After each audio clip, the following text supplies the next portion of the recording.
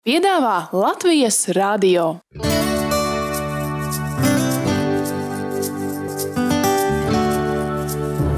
Monopola viesis.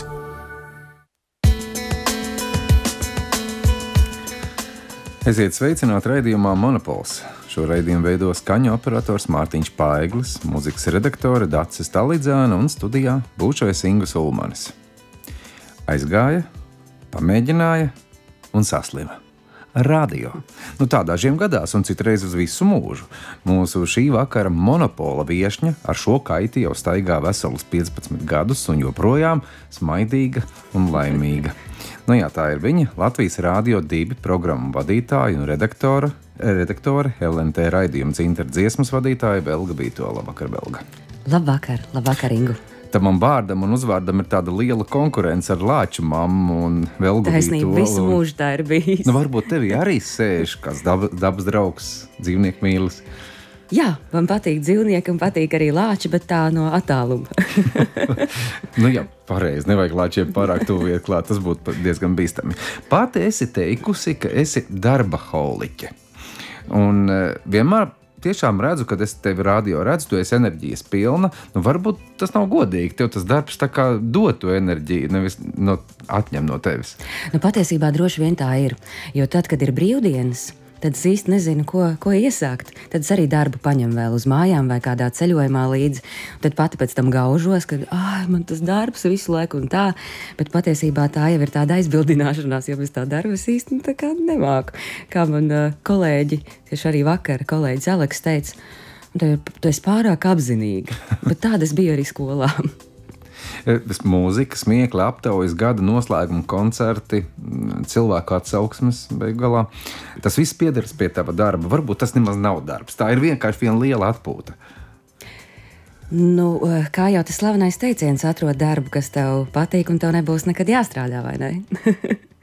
nu, jā, nu, tā tu esi atradis. Tas, no, atradus, tas jā, bet ir tā, tas otrs aspekts.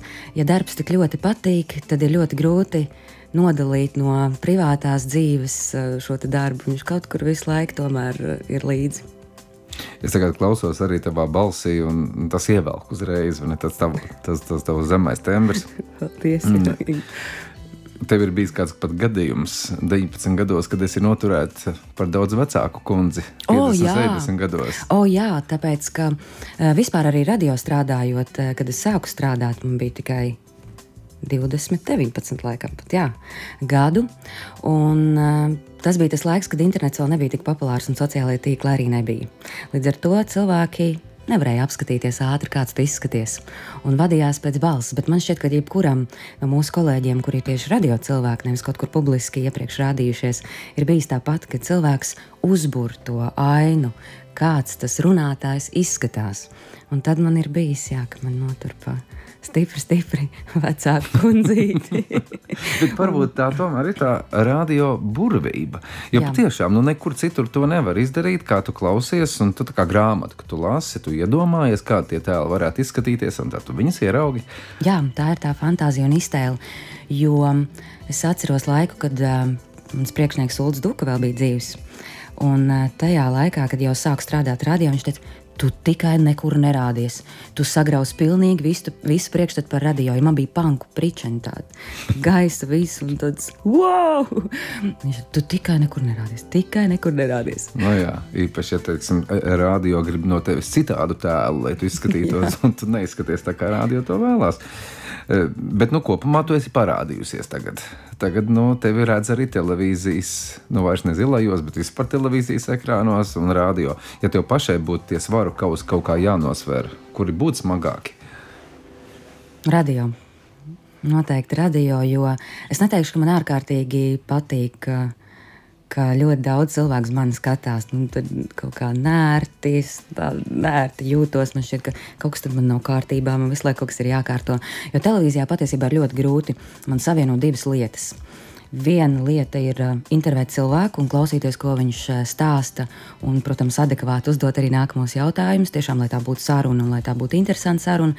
Nevis vienkārši cilvēki atnāk, norunā savu penteru un aiziet. Uh, Un otrs ir tas, ka televīzija arī prasa to, lai tu tomēr izskaties pareizā rakursā, lai tu sēdi taisnu muguru.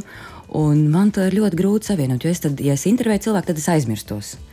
Vai nu tas otrs variants, ka es kaut kur domās, esmu citur un visu laiku domāju, kā man tur to galvu piekrist. Nu, varbūt televīzija ir tāda spogulī skatīšanās. Mm, nu, ja tur būtu tās kameras acis vietā cilvēka acis, jā, tad man patiktu skatīties uh, kamerā. Bet Tev jāskatās ir... uz operatoru, neskaties uz to kameru. Bet tad jau atkal man saka, ko tu skaties šķīvi, skaties kamerā. Tā kā man tās problēmas ir vienmēr jā. Mm -hmm. Bet rādio droši vien tas smagums arī ne tikai tam dēļ, kad ir tī, nu, tī tehniski tā nērtība. Radio ir arī nu, šis brīnums, ko mēs pirms tam tikko runājām. Tur ir kaut kā tā saruna, varbūt tiešām slēptāka, dziļāka arī. Nu, radio vispār tāds maģisks. Jau arī nu, no seniem laikiem, tomēr um, tā ir tikai balss. Un um, ieklausoties uh, balsī, tu daudz ko jaunu vari uzzināt par cilvēku. Nu, piemēram, līdzīgi kā ir um, uh, fotografija, ja mēs runājam, ir krāsainā un melnbaltā. Un krāsainā tu uh, tavu uzmanību vairāk novērš krāsas, kā tur, kā tur tam cilvēkam tā seja, mm, kādā tonī ir, vai tur ir piepūderēta vai nē. Savukārt, melnbaltajā fotografijā tur tu redz to cilvēka, to būtību, tas aprises, acis ieraugi tās krāsas, tad ir nu, viņas tā kā nojauc to, man tā šķiet, to mm -hmm. cilvēku personību. Tu vairāk vari ieraudzīt melnbaltajā fotografijā. Bet es vispār esmu melnbaltās fotografijas fans. Par tādām dziļām maņām tur runāja. Visdziļāk esot oža. Varbūt mums nemaz nevajag vispār nerunāt, neizskatīties, vienkārši sajust tā pa gabalu kaut kur ejot, un tā mēs varam arī kontaktēties. Jā, varam, citiem tā ir izteiktāk, man tā nav tik izteikta. Mm -hmm. Es tā domāju, kaut gan tās zemapziņas dzīves jau ir atkal cits jautājums. Latvijas rādio ir 90 gadi. Nu, liels gadu skaitlis. Mēs abi esam jaunāki. Eh, bet eh, kopā gra... saskaitot. Nu, uz to pusi ir. Nē, nu, varbūt sanāk, jā, jā. varbūt arī vēl nesenāk, bet tomēr būtu grēks nejautāt, kā Latvijas rādio tieši tevi ietekmēs raidījumi, personības. Nu, man vispār patīk arī protams, intervijas veidot. Jo tad tu iepazīsti cilvēkus un satiec tos cilvēkus, kurus varbūt tu nekad um, dzīvē nesatiktu vai baidītos uzrunāt. Tā ir laba lieta, vai ne? Jā, un tad tas arī kādreiz tā ir. iemesls satikties. Jā, ja es, uh, kāds cilvēks interesē, vienmēr var izdomāt, kādā veidā viņu uzaicināt. Tas radio tā kā aizseks. Nu, jā. Un, uh, tas ir forši. Nav jāpiedzirda tāpat tās runā. jā, jā, jārunā. Un uh, reizēm cilvēki, kuri tev ir likušies tādi vai šādi, beigās izrādās pavisam citādāki. Mm -hmm. Tavā rādio strādā tādas personības kā Gunārs Jākapsons. Es nezinu, jā. ir kāda, kura tevi tā īpaši tā ir aizskārusi. Un nu, noteikti. mācies. Noteikti tas ir Gunārs Jākapsons, jo mums ik pa brīdim ir arī kādas dziļākas sarunas. Es jau viņu gribētu saukt arī par savu draugu. un eh, noteikti tā ir eh, Sandra Glāzupa. Uh mhm. -huh. Arī ar Sandriņu mēs daudz ko reizēm pārunājam. Dažādas lietas, ne tikai protams, par radio, bet arī par, par tādām varbūt privātākām lietām runājam. Nu jā, bet personības jau ir daudz kā, tavā dzīvē, ar kurām tu satiecies. Bet nu, radio personībām atkal piemīt kaut kas tāds atkal īpašāks. Nu, piemēram, Gunārs, es zinu, ka viņš trenējies kādreiz daudz vārdus izrunāt tur vienā minūtē. Un, nu, varbūt kas ir raksturīgs tieši radio personībām, atšķirīgs no vienkārši dzīves cilvēkiem un personībām? Nu, zini, Ingu, laikam tā tā dažādā bagāža, kuru mēs jau pieminējām, šīs dažādas cilvēku satikšanas uh, iespējas. Un uh, visi radio cilvēki ir ļoti fleksibli.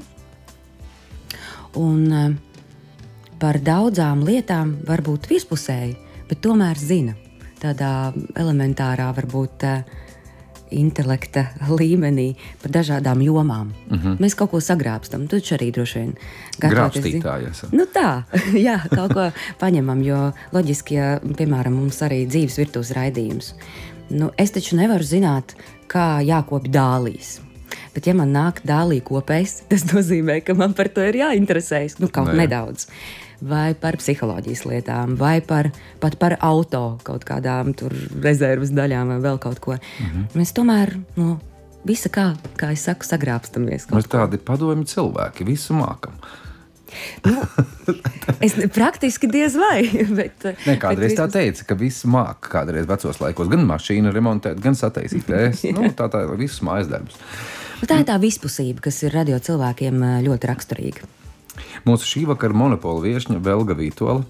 Es velku viņu uz visādām lietām, mēģinu izdibināt no viņas visu ārā. Un viena no lietām, kuru mēs arī parasti monopolā darām, tas ir klausāmies tevis izvēlētu mūziku. Nu, parasti tu izvēlējies it kā priekš radio klausītājiem. Šoreiz ir pilnīgi tavs subjektīvs redzējums uz šo lietu. Nu, kā bija šoreiz?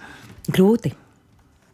Grūti bija izvēlēties, jo tāpēc es tev arī aizsūtīju tādu garāku to sarakstu. Un tu liki uz manis, lai es izvēlētos. Jā, es tā kā pārfutbolēju to vēl, vai ne? Jo nu, no ārzemju mūzikas vispār ļoti grūti. Nu, ir tik plašs, uh, plašs spektrs, no kā izvēlēties, un man patīk dažādi mūzika. Es reizēm mēdzu arī aiziet uz koncertiem, dzīvajiem, uh, varbūt uz grupu, kura man nu, tā nav nekad īpaši simpatizējusi, jo koncertos ir pilnīgi citādāk. Un tāpēc man ļoti, ļoti grūti bija šis uzdevums izvēlēties dziesmas. Ja latvieši varbūt eh, vieglāk tur es vadījos pēc principa. Mm, Kas ar mani vairāk saistīts un vairāk emocijām, tad ārzemē, nu, ārprāts, mēs varētu klausīties, nezinu, vairākas dienas, nedēļu mēs te studijā mm. Nu, piemēram, uz Stinga koncertu bija pēdējo arēnu. Jā, Uh -huh. Un kā tev likās, patika? Viņš ap citu vecās dziesmas daudz tur spēlēja no polijas laika. Jā, eh, man es arī biju uz Stingu pirmo reizi, kad viņš šeit bija Latvijā, Nemo parkā. Uh -huh. Visam sen. Un viņš arī ļoti dažāds. Viņam tur tā džēza ievirza, tur atkal tāds uh, roks un pops. eh. Mm, man vispār uz tādiem ārzemju mākslinieku koncertiem patīk kaut kur izbraukt ārpus. Es negribu slikti neko teikt par eh, arēnu mūsu. Tas ir forši, ka ir tāda vieta, kur eh, šāda līmeņa koncerti var notikt. Bet uh, man tur kaut kā grūti sevi tā, es nevaru tur iejust. Tur nevar paslēpties. Latvijā grūti paslēpties vienkārši. Un... Es pat negribu slēpties, kurš tu tur man uh, zina, bet uh, man kaut kā, es nezinu, nu, tur nav tā aura tāda, kā man parasti gribētos, kad uh, aizbraucu uz Es, koncertu. es personīgi biju arī uz tajā koncertā un patīkami pārsteigts, jo gaidīju daudz mazāk un sagaidīju ļoti smukas oranžijas no veciem polijas gabaliņiem. Šajā reizē gan tu esi izvēlējies stingu. If I never lose my faith in you, tad jautājums ir, kāpēc tieši šo dziesmu? Man patīk tā dziesma. Aiziet, man arī patīk.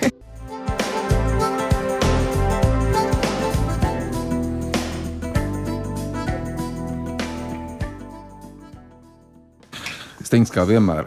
Tad mēs tikko aizrunājāmies, ka vajadzēja stingu kādam modernātajā izklausīties, redzēts vai Jā, dzirdēts. vai nu, šovā. varbūt, kad uh, vēl jau Neviens raidījumi tur daudz uz priekšu Nevar gaidām. nodziedāt to stingu. Tā ir. Labi, parunāsim tagad par tevi. Velga Vītola mūsu šī vakara monopola viesne. Tava dzimta ir latviska. Tā tu esi. ļoti latviska, jā. Latviska, jā. Nav Paraugoties- neviena, nav neviena ārzemnieka. jā. Nav neviena ārzemnieka un paraugoties uz tevis. Nu, tā arī varētu noteikt un pateikt. Jā, patiešām tā Pēc ir. tiem sejas pantiem. Nu, jā, nu, gaiša meitene. Lat... Nu, man sēž pretī Latvijā. Es uzreiz tā kā pat. Nu, tā? Bet tiešām bez tādas maida, varbūt par to latviskumu. Redzat, tādas divējādas sajūtas. Jauniešos abas šīs sajūtas uz, burtiski uz abām pusēm iet. No vienas puses, latviskums visiem liekas ir ļoti svarīgs un būtisks. Tad otra puse ir tā, ah, tas ir latviešu, tas nu, tās dziesmas ir latviešu, un tas, un tas, un tas nav nekas krūts, tā varētu teikt.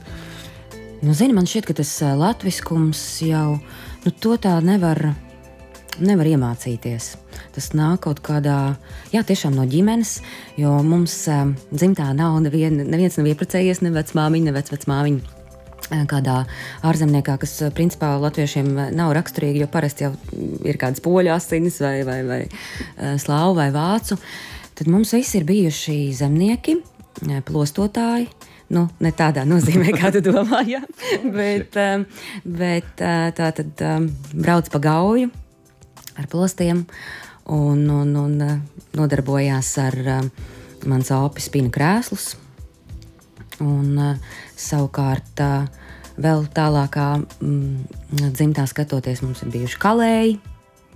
Un tādi īsti, īsti latviešu Nē, bet Igauni tādi paši, viņiem savas upes, viņi ar plostoju, viņi arī bija kalēji. Nu, lietuvieši tādi paši, bet nu, tas latviskums. Nu, man šķiet, ka vispār nu, tas latviskums tā jau ir tāda vispār nacionālā identitāte kā tāda. Un tā baigi nodefinēt, kas vispār ir latviskums un kas ir šis igauniskums, ja, ir ļoti grūtās raksturiezīmes. Mēs esam uh, pietiekami klusi, pietiekami atturīgi, varbūt vēsi nedaudz, kas arī, protams, vairākām tautām ir raksturīgs. Bet tās ir mūsu latviešu tautas dziesmas. Un, Tie ir mūsu uh, tautas instrumenti, kaut kāda izpratne par to, kā tu tās dziesmas pasniedz. Nu, katram, uh, katrai uh, teksim, nācijai tas uh, tomēr ir kaut kādas nianses. Ja? Mūsu šie dziedājumi, Ļoti daudz, ja papētītu, tas piln, pilnīgi atšķirās no tā, kā, kā tā melodija veidojās mums un kā citām jā, tautām. Nu, kā mēs varētu... viņu izdziedam, ja? jo vārds jau arī piedod to melodijas skanējumu. Mm -hmm. Piemēram, paņemot to pašu melodiju, to nodziedot igauniski, viņi izklausīsies pilnīgi citādāk. Mm -hmm. Mūsu tā runas melodija. Nu, jā.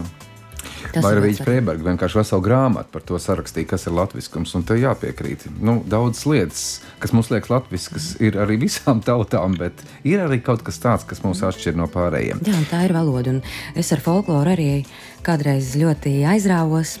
Eh, paldies Andai Abelei skolas laikā.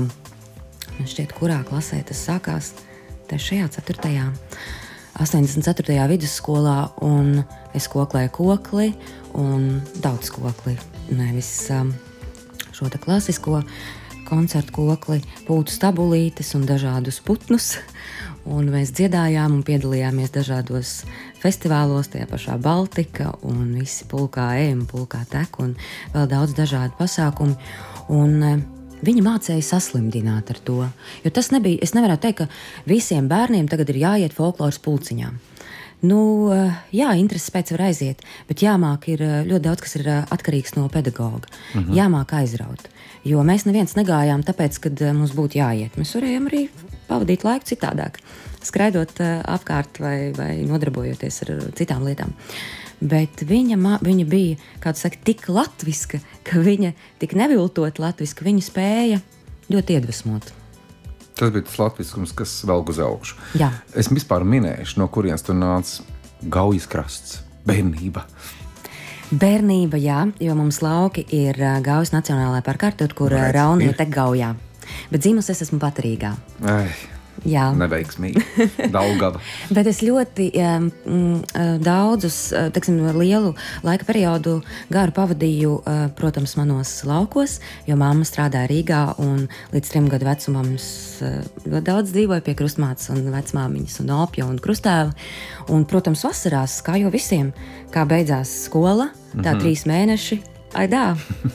un tad jau, protams, neizpalika Tad televizora skatīšanās nebija populāra, tad neizpalika dažādu ēdienu gatavošana. Man bija savs pavārs šausmas, kur es gāju, lasīju dažādas piedenes, griezu, un, un, un tad man bija krustēvs um, uztaisījis tādu plīti, kuras visu vārīju, un tad stāstīja, kā es to gatavoju. Un uh, vispār man ļoti foršs krustēvs. Nē, pienenes. Nu, tur tā, nu, tur tā. tā kā drusciņā. Jā. Un uh, man vispār ir brīnišķīgs uh, krustāvs, kurš man sagādāja fantastisku bērnību. Jo visu, ko es gribēju, es visu dabūju. Es gribēju kokli. Nav problēma. Viņš paņēma tādu koku dēlīti, sasita naglas, uzvilka drāts, nu kāds viņam tur bija. Bet man bija kokla. Tad es gribēju kaķeni, tad viņš samaistaroja man kaķeni. Tā kā bija ļoti krāsains, stabulītis, protams, tika taisīts mm. pavasaros. Ja? To jau droši vien visi ir darījuši. Jā, un ja es gribēju kļūt par frizieru kādā vakarā, tad es varēju kļūt par frizieru, jo viņš man ļāva taisīt frizūras. Populārākā frizūra bija boks. nu, tā kā viss saķemē uz priekšu. Mūsdienās tas būtu nodzīts uz nulīti. to gan varbūt krustāvs nebūtu pieļāvis. Bet tas lielais brīdis, kā no bērnības, un tad skola, un tad ir jāsāk štukot. Ko tad es savā dzīvē darīšu? Tas bija tāds grūts brīdis arī priekš tevis. Jā, jo man šķita, ka kaut es skolu pabeidzu ar godu zīmi, bet man šķiet, ka es nekur netikšu. Es nekur nevarēšu iestāties. Man neviens nekur neņems. Un tad es iestājos laikam, četrās vai piecās augstskolās, nu, visās pēc kārtas, kurās, kurās varēja. Tajās es arī iestājos, sākot ar Jālgavu. Tur, kas tur vēl bija visās Rīgas augstskolās, un tad pēc tam sanā, ah, un vispār studēju. Tas nozīmē, ka tu iestājies, un tad, nu, kurā uzņems, ja? Nu jā, nu tā uz, uz labu laimi, jo man šķiet, ka nekur. Nu, izņemot ķīmijas fakultāti, kur uzņēma bez iestāju eksāmeniem, tāpēc ka mēs ar uh, manu draugu Līgu Skroderi uh, bijām aizraujušās ar zinātni. Un uh, ķīmijā veidojām tādu pētniecisko darbu. Un, tā kā mēs bijām valstī ieguvuši trešo vietu, diemžēl man nav šīs medaļas. Tas ir baisais rūkums, tāpēc es arī šo pieminu. jo mēs šo medaļu nesaņēmām, jo kāds pa ceļam gādājot, atgādājot uz skolu, tad tā, tā medaļa tika nozagta. Mm. Mums ir palikusi, diemžēl, palicis, diemžēl, tikai diploms. Nu, lūk, un, mēs ieguvām trešo vietu valstī ar savu pētniecisko darbu. Un, tur jau vairāk bija laikam tās mūsu tās, uh, runas dotības un mākslinieckās spējas skaisti noformēt plakātus. Un, jā, un ķīmijas fakultāte mūs uzņēma bez iestājas eksāmeniem. Nu, to es zināju, ka tur es, tur es varēšu iet, bet tas nebija gluži tas, ko es vēlējos. Savukārt, komunikācijas zinātnes. Uz tiem iestāju eksāmeniem es aizgāju līdz draudzenēm, tāpēc, ka vecais labais stāsts aiziet līdzi kādam, jo man teica, ka es tur nevaru iestāties, jo man nav iepriekšēja pieredze. Jo tur ļoti daudz punktus deva par to, ka uh, ka tu esi iepriekš rakstījis kādā vietējā avīzē vai kaut kur bijis kādā televīzijas raidījumā. Tā kā man tādas pieredzes vispār nebija, izņemot uh, manu programmu lasīšanu mājās, ja? no, nu, ja. tad uh, cerības bija mazas. Bet tad es arī tā ļoti viegli tam visam piegāju. Mums bija jātaisa kampaņa praktiskajā daļā par uh, piesārņošanu, dabas eh, piesārņošanu, kā to, kā to mazināt, tāda sociāla kampaņa. Es sēdēju Vērmans dārzā, sacerēju dzējolīšu savai kampaņai, un tā arī viegli prātu gāju viņas prezentēt. Un, eh, Un sanāca tā, ka es. Vieglāk prāts uzvarēja. Jā, jā nu, stress. Vien, viens bija tas, ka augstskolas tevi izvēlējās, bet nu, tu izvēlējies tomēr vienu pati. Un tās bija šīs sociālās zinātnes. Jā, Tāpēc, ka tur man šķiet, var iegūt uh, visplašāko zināšanu spektru. It kā neko, bet no katra atkal kaut ko, kaut ko paķert un, un, un paņemt. Jo īsti tādas skaidrības pēc 12. klases nebija tā. Mans sapņu darbs es nezināju, kāds ir mans sapņu darbs. Bet pēc dažiem gadiem tu jau nu, ar vienu atsāki mirkšķinēt uz radio pusi. Vēl Grītola, mūsu šī vakara monopola viesņa. Mums noteikti būs jāiekļūst tajā radio, un tur arī būs jāapstrādā. Bet tagad ir tas skaistais brīdis, ka kāds cits par Velgu būs kaut ko teicis. Pirmās asociācijas ar Vēlgu - kopīgās Latvijas Rādio 2 rīta programmas, kuras mēs savā laikā vadījām. Tas, laikam, ir tas brīdis, kad es ar Vēlgu tā visu vistuvāk iepazinos. Jo, nu, tad, kad tu no rītiem kopā ar kādu strādā, tad tas ir gandrīz vai tā, tāds ģimenes loceklis. Jo, tu viņu redzi, nu, vēl knapi pamodušos, un tās visas sarunas, kas notiek arī aizkadrā, ne ēterā, tās visas ir tādas ļoti, nu, jāsaka, familiāras un tuvas patiesībā. Un, jā, es atceros, manuprāt, mēs ar Velgarītu darījām. Mēs gan to rītu programmu vadījām jau savu laiku atpakaļ. Nezinu, cik tas sen jau sanāk. Manuprāt, ar Velgu arī bija tā, ka mēs arī nesām brokastis līdzi, un tad vienu rītu viens, kad mēs strādājām, citu atkal reizē es ņēmu, un tad, jā, tad viens otram gatavojam arī brokastis. Viņi ļoti karšīgi arī gatavo maizītes. mēs ar Vēlgu esam bijuši divi tā ceļot. mēs bijām aizbraukuši uz Londonu, ciemos pie Anģa Klinsona, kurš tajā laikā vēl dzīvoja. Paciemoties, tad ir tāds man ir ar Vēlgu kopīgs um, bijis ceļojums. Manuprāt, viņai no nekā nav bail īpaši. Viņa ir tāda, tāda bezbailīga sieviete. Patiesībā Ja vēlga varbūt no ārienes izskatās tāda trausla, maza būtne, tad patiesībā viņa ir diezgan liels spridzeklis. Un, Varbūt dažreiz cilvēki nu, nu, ir radies kaut kāds viens viedoklis un iespējas, bet patiesībā viņi ir kaut kas pavisam, pavisam cits. Viņi ir tādi diezgan mainīgu personību, bet uh, visu to labāko par viņu tikai principā var teikt. Vēlga vispār ir arī fotografe, un uh, viņa ir fotografējusi mani. Viņai ir bijušas izstādes, fotoizstādes, un uh, es gribēju Vēlgai uzjautāt, kad būs kaut kāda nākamā izstāde. Runā, runātāju tu laikam tiešām pazini. Ja? Jā, mans kolēģis mīļais Kaspars Mauričs. Nu, viņš tev jautā, kad būs nākamā foto izstāde. Vai kas par, nezinu, laikam nebūs. Vismaz pagaidām, bet par to fotografēšanu man pašam radās daudz jautājumu, jo tu pat esi studējusi nedaudz, nu, tā kā mācījusies Sanktpēterburgā fotografēšanu. Tavā vienā no tavām izstādēm ir pats Robijs Viljams bijis. Jā, jā. nu, nu, tad tā ļoti daudz sakritību. Un faktiski varētu teikt, tā, ka fotografēšana nav nekas nenozīmīgs tavā dzīvē. Um, tas ir nozīmīgs, bet uh, šobrīd tas vairs nav tik uh, aktuāli, tāpēc ka man patika fotografēt ar filmām. Man patika taisīt melnbaltās bildes, es arī pati dārkrūmā uh, viņas kopēju priekš šīm izstādēm. Un es bildēju tikai portretus. Tur arī uh, dažādi inscenējumi un dažādas dom, dažādi do, uh, domu gājieni, jo vienu izstādi es fotografēju gada garumā, jo man vajadzēja dažādus gada laikus, un, un tur mainījās cilvēki, bet vietas nemainījās, mm. mainījās gada laika. tā. Nu, tur ga- gar, nu, parasti patika arī kaut ko uzinscinēt un izdomāt to, to, to mesiģu. Bet uh, tā kā tagad ir uh, digitālā fotografija un vairs nav tik liels nozīmes uh, varbūt ekspozīcijai un kadrējumam, jo visu mēs varam sagriezt, pagriezt, uzgriezt un no pilnīgi tumšas bildes uztaisīt saulainu, gaišu dienu vai, vai otrādāk. Man tas nesaist, jo es kā vienmēr saku, es esmu ome, man nepatīk īpaši tehnoloģijas. Tā tas ir.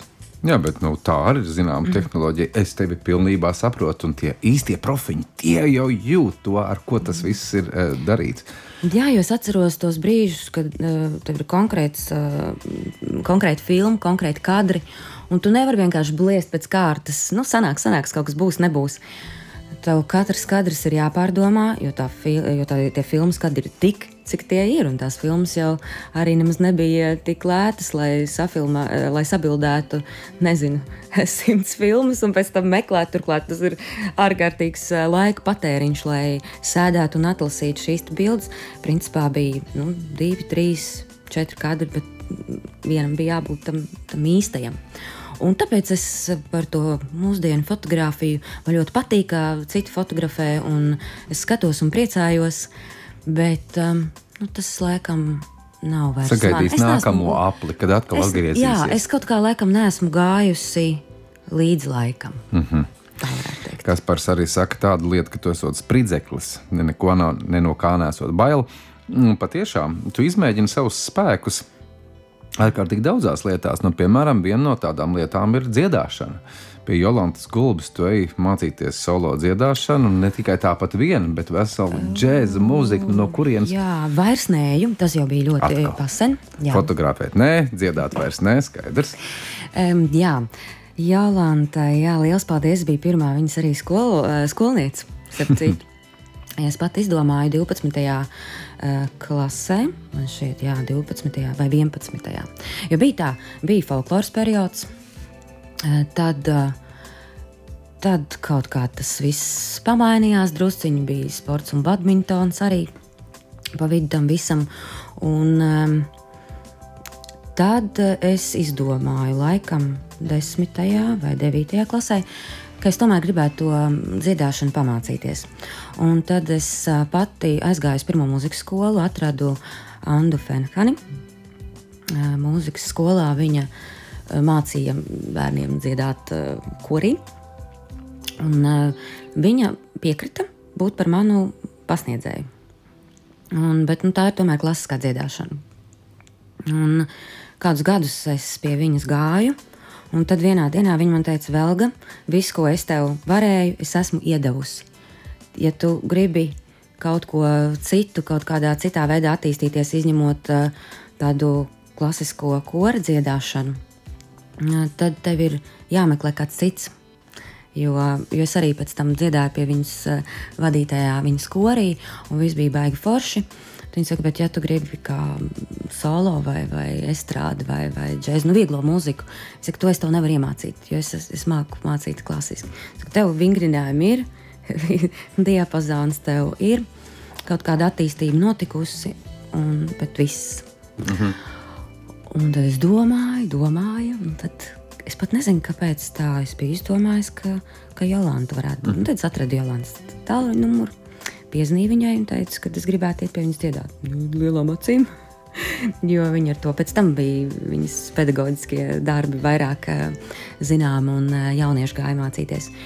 Bet nu, tā mēs sākām. Es domāju, mācījās gan Jolanta, mācījos arī es. un pa vidu, protams, arī vēl Raimons Macats ar savām piezīmēm. nu, jā, tas nozīmē, ka tev bija labi skolotāji. Tev nebija tāda doma, ka vajadzētu nu, savu personīgo albumu vai pieslēgties pie kādas nu, grupas vai kaut ko tādu. Nu, kur tad eh, kā? Nu, nē. Nē, tā man, tā man nav šķitis. Eh, man gribētos vispār, ja kādreiz eh, realizēt kādu tādu mm, ar dziedāšanu saistītu projektu, tas varētu būt tāds etnoģess, kuras varētu nodziedāt nu, tādu vienu rindiņu, bet tas nebūtu tas pats galvenais. Ja? Un tad pārējie mūziķi, instrumentālisti, visu uzbūvēt par tādu skaistu, skaistu darbu. Nu, viena lieta, tomēr es izdarīju, piedod, redzi, arī tavā izvēlē ir kritis Roberts Gopziņš, rasnie putni. Un tieši šajā dziesmā var dzirdēt tavus prasmes, vokālās prasmes. Es tā tagad jādomā, kurš ie, kuru ierakstu no, nu, jūs atskaņosiet. Ja? Es nezinu, vai tieši šajā ierakstā, bet vispār ar gobziņu, Robertu un Rasniem Putniem. Oi, tie bija jautri divi gadi ar ļoti daudz koncertiem pa visu Latviju. Un eh, es patiesībā ļoti daudz ko iemācījos. Jā. Klausamies! Šonakt atkal mežs ir baigi izbradāts visas manas sēnes nopostīs kāds.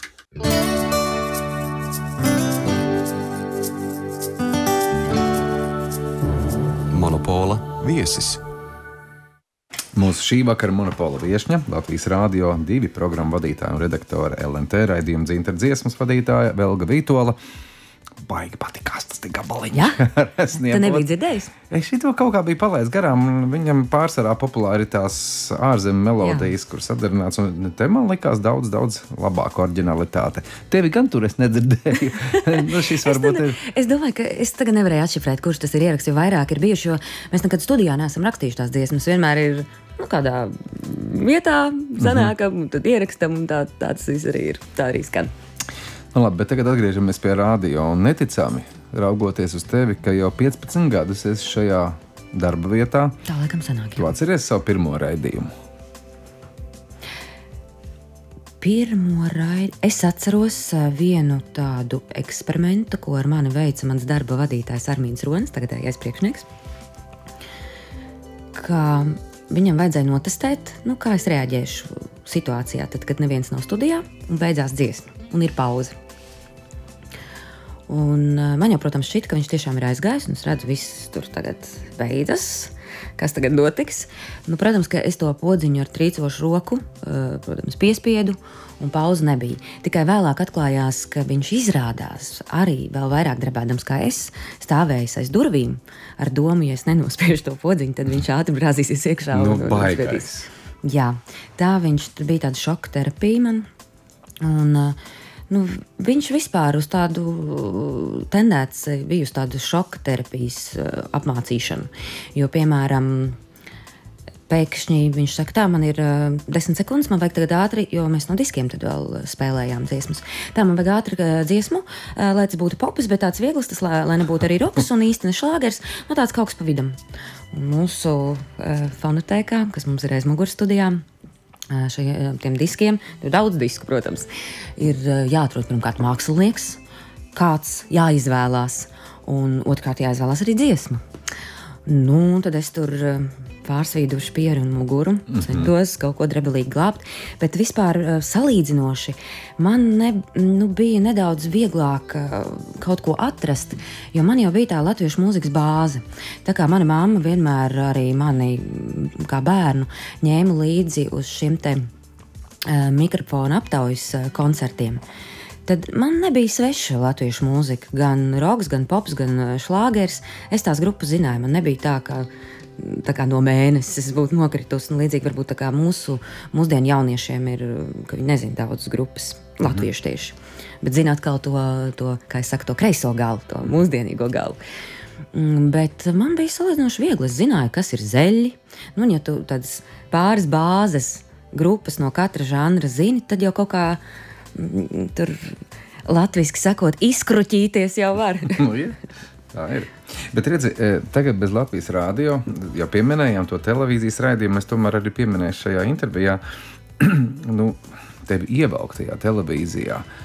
Nu, tas tomēr ir viens tāds īpašs solis, lai gan it kā nē, nē, no sākuma vairāk rādio, tomēr Latvijas tele, nevis Latvijas, bet LNT šajā gadījumā televīzija, dzintara dziesmas.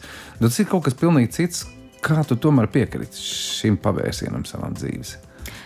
Zini, sanāca tāds viltīgs gājiens. Jo vispār uh, Latvijas Rādio 2 vētrā sākās dzintara aptauja. Un uh, tā kā bija arī dzintara dziesmu raidījums, tad vajadzēja kādam, kurš orientējas uh, aptaujas dziesmās, nelie, nedaudz pastāstīt katrā raidījumā, iefilmēt šeit pat Latvijas Rādio 2 studijā, iefilmēt šo mūzikas apskatu kas tad ir noticis, kā, kā par dziesmām ir sabalsots. Tā kādu laiku bija. Es domāju, nu, kas tur ir? Tas maziņš kabeliņš, tur nezinu, trīs minūšu garumā. Bet um, tad atkal kaut kas pamainījās, atkal tā un šitā. Un um, vienreiz vajadzēja nointervēt kādu cilvēku, aizbraukt, uh, un jau tas sanāca tā kā lielais rādījums, un tad jau, nu, bet varētu jau arī tomēr atkal pie tā aizbraukt.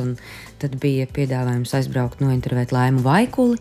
Es nevarēju atteikt. Nu, viltīgi. Jā. Viltīgi, es tā teikšu.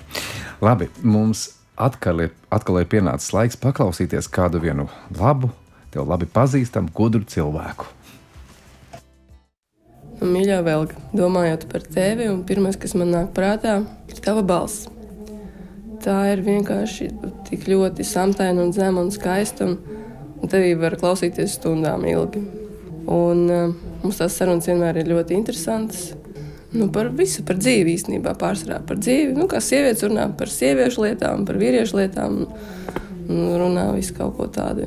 Vienkārši vajag paklačoties. Sievietēm vajag paklačoties. Tā kā viņas ir izklačojušās, tad viņas ir apmierinātas un priecīgas. Tad bija viens gadījums, kad um, mēs nu, balējāmies visu nakti. Tas bija Gaunijā. Un, un nevarēja aiziet gulēt.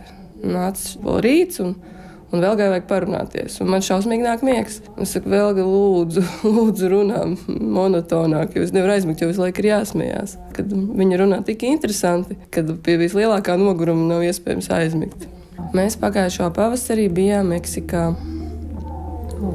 Jā, tas bija mūsu tāds ekstrēmākais ceļojums. Nu, mēs bijām divi, tā, divas meitenes ar automašīnu braucām mm, pa tādām vietām, kur vietējie neiesaka braukt pēc pusdienas sešiem, jo arī jau policijas vairs nav un, un, un drošības apsvērumu dēļ labāk. Nu, Meitenēm ne, nevandīties pie nu, jo aplaupa vienkārši. Nu, tā.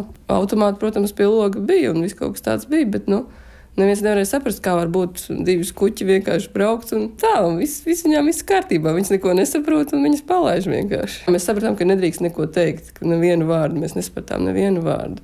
Tas bija ļoti vērtīgi. Kādreiz par muļķi būt arī ļoti vērtīgi, kā izrādās. Jā, nu jautājums bija diezgan tāds muļķīgs. Vai var raudāt zem ūdens? Šis tiešām ir liels, liels pārsteigums. Tā ir mana ah, mīļā, mīļā, tiešām mīļā draudzene Aira. Mm -hmm.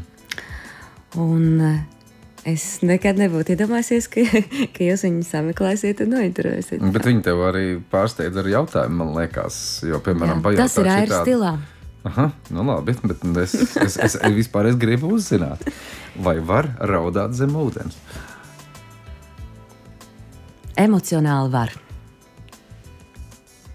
Nu, jā. Par fiziku es nezinu. Bet vai emocijas zem ūdens ir vispār? Ir. Ir? Jā. Uh -huh. Nu, kaut vai varbūt eh, divas, eh, divas tikai emocijas. Eh, tā, tā gama ir diezgan šaura un tajā pašā veidā plaša. Vai nu tu esi priecīgs, vai bēdīgs, vai nu tu slīksti, un tu esi bēdīgs. Nu, diezgan, jā. nu, tas nozīmē, varbūt, ka tu arī nīrsti. Tad, Nē. tad, tad zem tā ūdens tu esi es... ilgāk. Es, um, es, ja godīgi, īsti nemāku peldēt, bet skolas eksāmenu es noliku peldēšanā. Citi, mm -hmm. kuri mācīja, nenolika. Nu, lūk. Aira runā par eh, Meksiku, Mauriņš runāja par Angliju. Tas nozīmē, ka tev patīk ceļot. Un es te lasīju vienā intervijā, ka tev nevis to vārdu ceļot, es apzīmēju ar klejot. Jā. Nu, tā patika tiešām ir tāda patiesa, acīm redzot. Jā. Tā tas ir, jo man nepatīk ceļot pa tādiem turistu maršrutiem. Mm, Visbiežāk mēs ceļojam ar Airu. Mēs arī nesen atgriezāmies no viena ceļojuma. Diezgan kopā vēl ar eh, divām, eh, divām meitenēm, divām draudzenēm. Šoreiz, bet bieži mēs ceļojam divatā. Un, eh, jā, mēs, mums patīk komunicēt ar vietējiem cilvēkiem, tad mēs sakomunicējam. Savukārt viņi atkal izstāsta tādas lietas, kuras um, varbūt grāmatās, ceļojuma grāmatās nav rakstītas. Un, Jā, reizēm varbūt tas ir uz tādas bīstamības robežas, jo, bet parasti mēs ļoti konsultējamies arī ar vietējiem cilvēkiem, kur drīkst braukt, kur nedrīkst braukt. Un viss foršākais veids, kā ceļot, protams, ir noīrēt auto un dot, nopirkt karti, jo mēs nekad nebraucam ar vadoties pēc GPS. Mēs uh, vienmēr, uh, vienmēr nopērkam papīra karti. Mm -hmm. Un tad ar to pirkstu tur braucam un skatāmies, ko mēs varam ieraudzīt. Nu, esiet gatavs respektīvi pārsteigumiem. Jā. Mūsu nākamā dziesma, Nora Jones. Ārkārtīgi skaista dziedātāja. Tas arī bez komentāriem, tāpat kā Stings. Kā es tā gribētu spēlēt un dziedāt.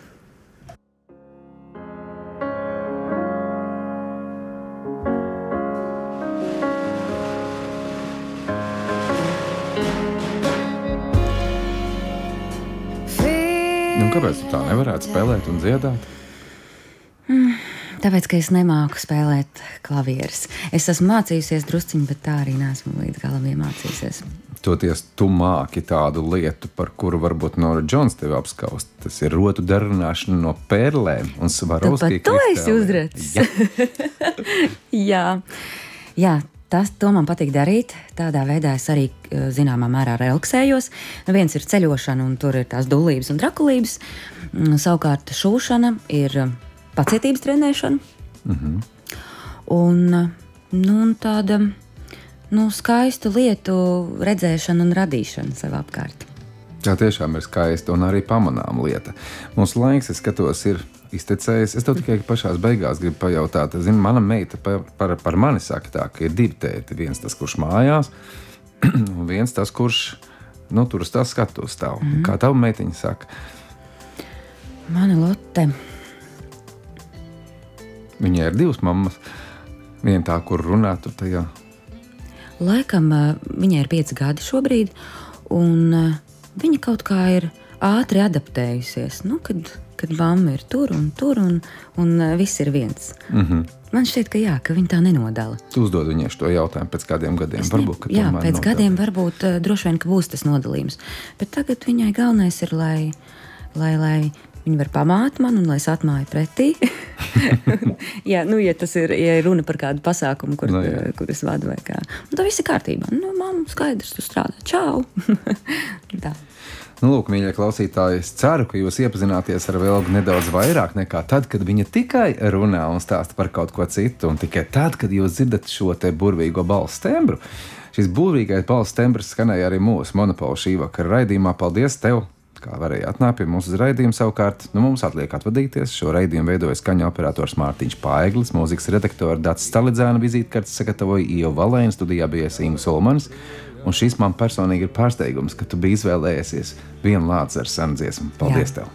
Jā, Atā. tā.